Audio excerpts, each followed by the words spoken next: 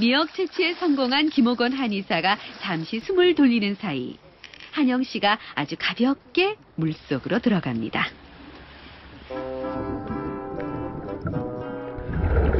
워낙에 바다를 좋아했다는 한영 씨.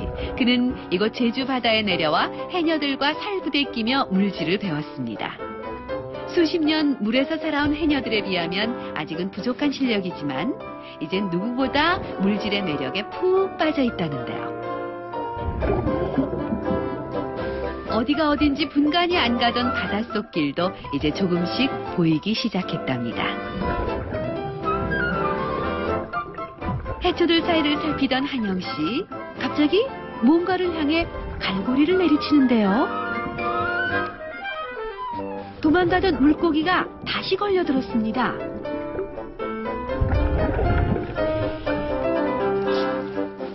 아! 왜? 뭡니까? 광어. 광어요. 한번 봅니다. 한번, 한번 만져보요. 예, 그 놓칠 뻔했어요. 어. 에휴, 야, 광어 잡았다! 봄, 봄광어! 제주의 봄광어!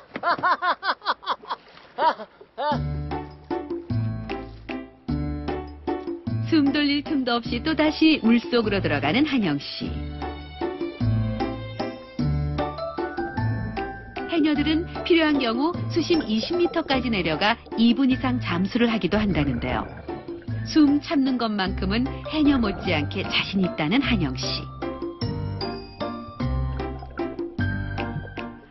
한참을 이리저리 헤엄치더니 또 뭔가 큼지막한 걸 잡아 올렸습니다.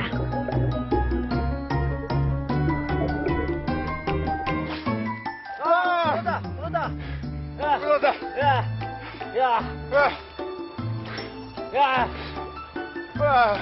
아이고야, 와! 물어다, 물어! 야! 물어, 물어, 물어, 물어! 예, 막 움직이다 움직여. 예, 야, 야, 야, 야, 야, 야, 야, 야, 야, 야, 우리 해남 대단합니다. 어? 실력을 보니 바다의 사나이, 해남이 맞는 것 같습니다. 한영 씨가 연여 월척을 하자 자극을 받은 김호곤 한의사.